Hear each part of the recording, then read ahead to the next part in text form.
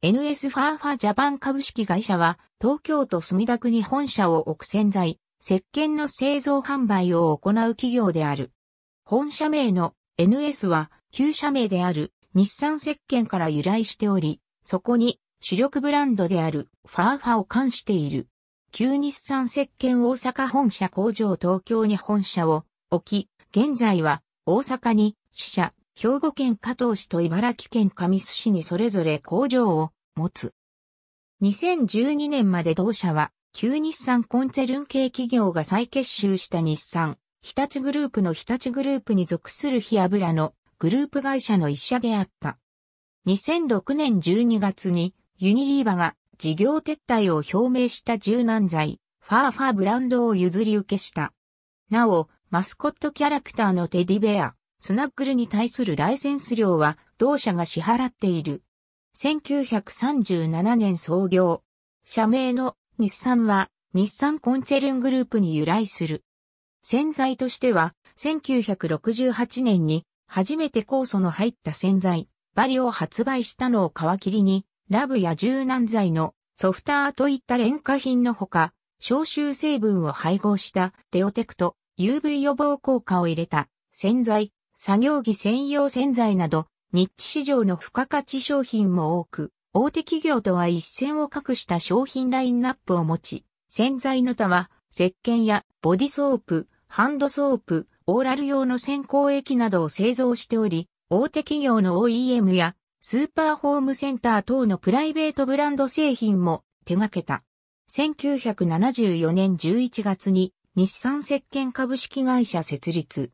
1995年には俳優や司会者として活躍した小玉清をナレーターに起用したテレビ CM を放送。その CM に当時の役員3人が出演し、役員の1人が言うセリフ、広告するのをコロッと忘れてましたは語り草である。CM では小玉によるナレーションで誠実一筋、清潔一筋と宣伝されていた。また当時、パネルクイズアタック25の番組スポンサーも務めていた。2007年6月に本店を大阪市鶴見区横堤2丁目から東京都墨田区菊川3丁目に移転させる。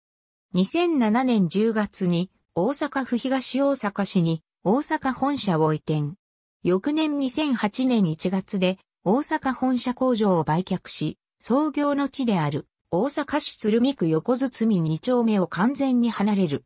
背景には住宅街化したことがある。なお、商品の問い合わせなどのお客様相談室は引き続き大阪に置いていた。2011年9月1日付で社名をこれまでの日産石鹸からファーファブランドを冠した NS ファーファジャパン株式会社に変更した。2012年1月19日、エステー、フマキラーとの3社間で資本業務提携を行うことで合意した。2012年3月、東大阪市の大阪支社を売却した。それに伴い、大阪支社に拠点のあった西日本営業部門は、吹田市へ、研究開発部門は、各工場へと移転した。2014年3月及び5月に、各月2週間ずつ、ファーファデオテクトのテレビ CM を放送した。なお、この CM は、社名変更後初 CM であり、またファーファブランドの同社への譲り受け後初のファーファのテレビ CM である。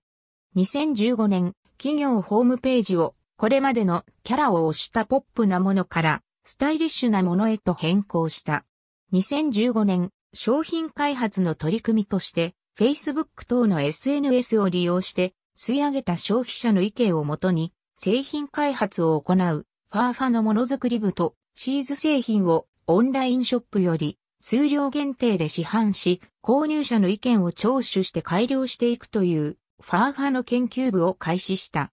2019年8月5日、東京本社を東京都中央区新川に移転。オリジナル製品、編集など業務用製品、編集などなど、日産石鹸時代は UV カット洗剤や前述自社のテレビ CM が中心だったが、現在は広告活動を休止している。なお2000年代末期まで放送していたファーファのテレビ CM は同社のものではなくユニリーバのものである。提供番組は、現在も番組自体継続中。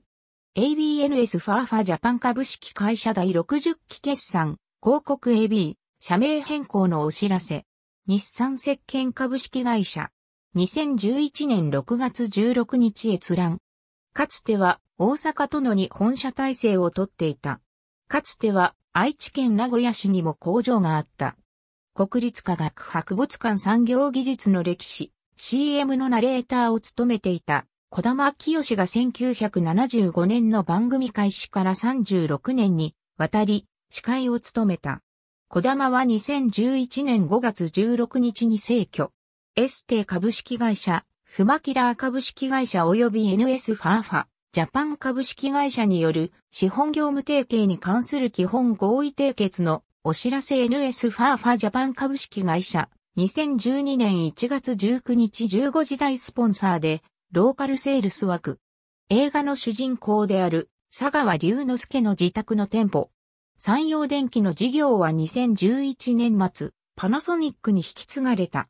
当時のプレスリリース当時のプレスリリース日産石鹸に関するカテゴリー。ありがとうございます。